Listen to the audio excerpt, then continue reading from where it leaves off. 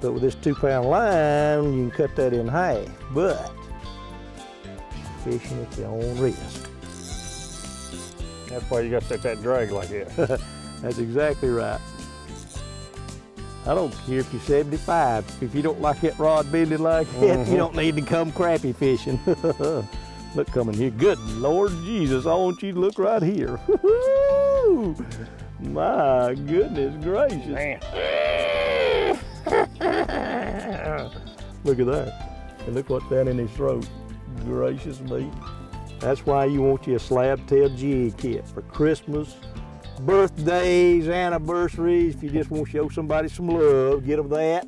And if you really want to put the odds in your favor, remember the old slab tail jig rod with Tom Mundy's special touch on it. That'll do it every time.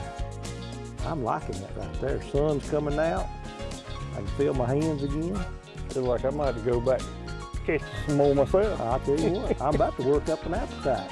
Yeah, about time for old biscuit, ain't it? Let's do it. Yeah, we'll go for a little break. We'll be back after these important messages, and me and Tom fills our belly. Y'all stay with us.